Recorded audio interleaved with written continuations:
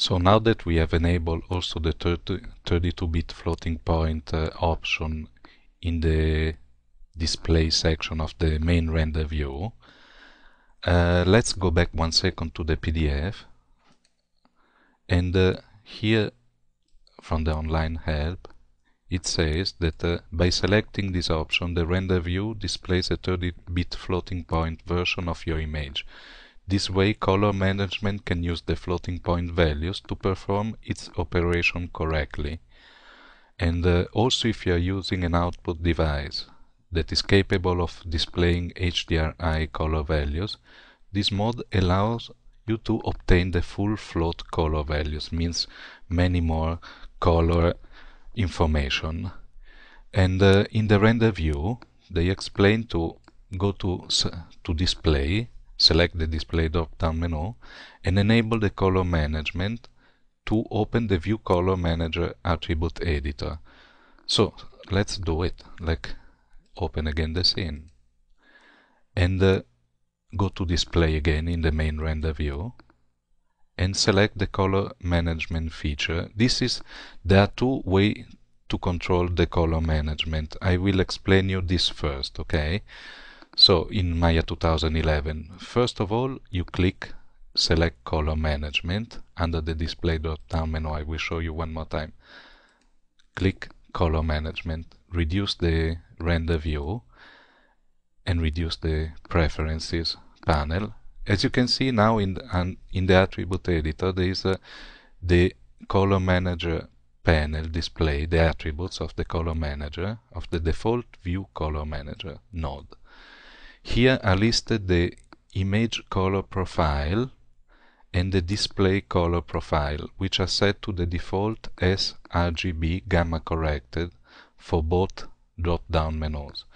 If I open for you the first drop-down menu, you will see the, the options are linear and the uh, sRGB, which is uh, uh, a, a RGB st stands for red, green and blue always and uh, these are the formats that this uh, this is another format that I you can use for experiment. Here they say no gamma gamma corrected. Uh, these are the formats that uh, you can play with if you want. Usually the two format that you will use is this the color profiles is the linear and the sRGB if you open the second drop down menu that is the display color profile they are the same uh, color profiles plus this Cineon. You can experiment with with these uh, color profiles. These are to uh, are the color profiles to be displayed in the main uh, render view. Now, if you look under, there is the two slide bars. One is the exposure and the second one is the contrast which you can uh, use to tone map the image the output image directly in the main render view. Once you render the image of course you must render the image uh, from the render view panel not from the batch render because uh, if you batch render the image you don't have these options.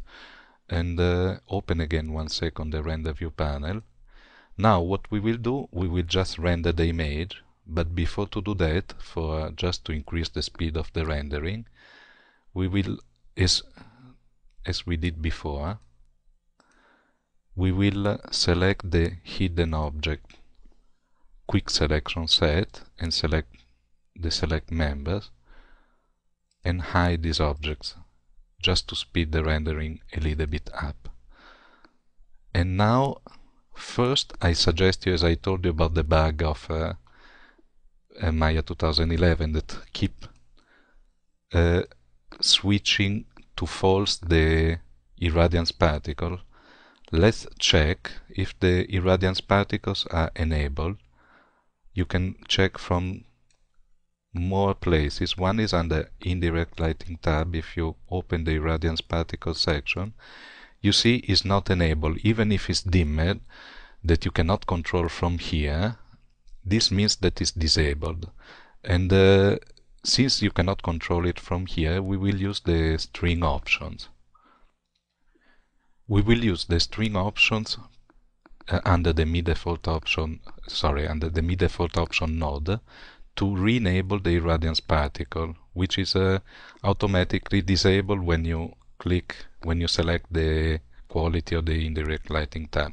So what we do is just back in the outliner, uh, mid select the quick selection set, mid default options, and scroll up to the irradiance particle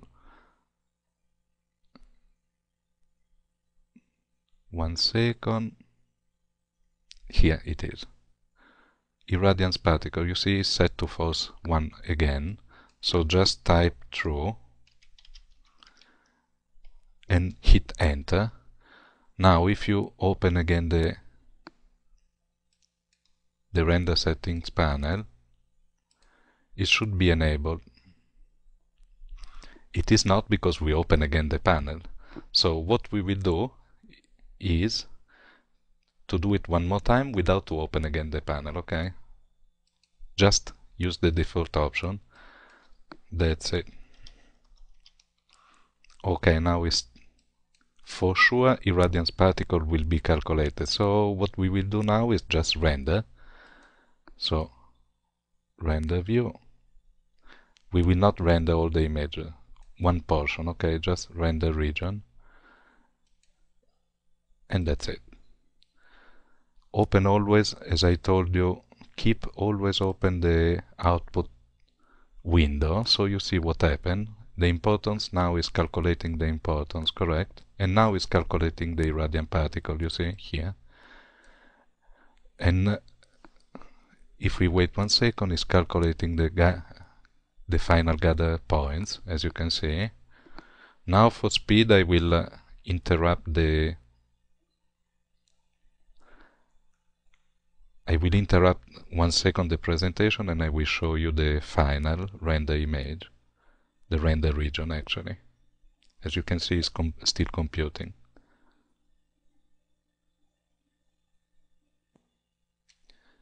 As you can see now, Mental Ray is calculating the progressive rendering subframe.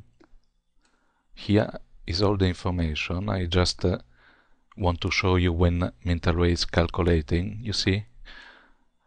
It takes about 13 seconds for each subframe to to render. This is the progressive rendering. So let's interrupt one more second.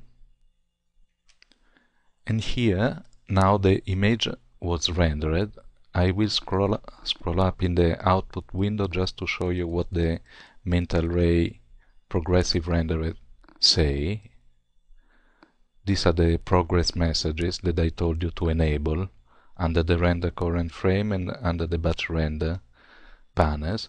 Anyway, here you see that mental ray is telling you that uh, progressive desired quality reached, stopping the progressive rendering, and the total rendering time was 88 seconds and 31 and the average frame time was 1.8 seconds. Progressive sending finished rectangle to display. Okay, these are the final. Calling all the output shader, as you can see, and writing the image to my desktop, to, to the main sponsor tutorial temp file, okay? Temp folder, sorry.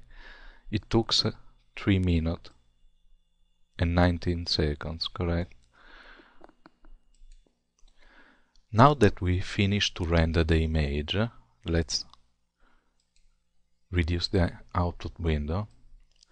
I would like to show you what this controls, what the controls and the set, the option in the, the default view color manager actually what what they are so let's say that uh, the first option, the first drop-down menu, controls the color profile of your image source and uh, you will see uh, that uh, in some of the scenes, even in this one, uh, we use an H HDRI 32-bit floating point image to light the scene. So this is the uh, image color profile of your image source. And here you control which color profile should be used for the image source. The second drop-down menu controls the display of the rendered image in the main render view panel. So let's say that the second drop-down menu controls which color profile will be used in the main render view panel to display your image render image output. I repeat this concept a few times because there is a lot of confusion about the linear and non-linear uh, workflow which can be called also tone mapping or gamma correction and uh, online on CGTalk and uh, on other 3D threads there was a lot of confusion for a long time about this workflow anyway let's open the main PDF and uh, check under the color management section uh, from the online help. Here they say select the color profile for your image source and your display output using the image color profile which is the first drop down menu and the display color profile which is the second drop down menu. I would like also to show you a very interesting thread on CGTalk where Dagon and DJX, again, both of them, make it very clear.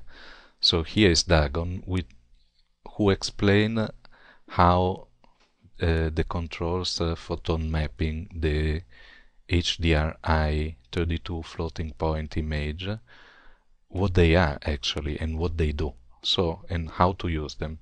So this is the, let's say this is the first drop-down menu and the render view input is equal to your image source. And uh, your image source, uh, you should use the linear option. Later I will show you again. For the second drop-down menu, which is the render view output, the color profile user used for the render for the for the image output and uh, actually here he explains is uh, what you wanna see means how which color profile should be used uh, to display your image in the render view panel. And uh, he suggests to use the sRGB which is the gamma correct option. And uh, also DJX he make it very clear in the previous page. This is the name of the thread, the color management for LWF. And uh, if we go back one page, you will see that here DJX explain the same concept, you see, how to use the color management. So in the uh, when you control the color management from the main uh, render settings, when you enable the color management feature, in the Common tab you should input the default input profile to sRGB corrected, which is non-linear. And for the second drop-down menu, you should input linear, and uh, this is the default output profile that will be rendered from the frame buffer. The first drop-down menu is the default, default input profile, which is actually your all the textured images that you use in the scene and they will be gamma corrected. And uh, for the second second part which is actually what we just explained before from the render view panel the display color manage color management under default under the default view color manager node attribute editor as a Dagon, as we just see from Dagon before, in the image color profile, you input linear, and uh, which controls the color profile applied to your image source. And uh, in the second drop-down menu, you input sRGB, which is a gamma correction. And uh, so the image the render output image will be displayed as gamma corrected in the render view panel.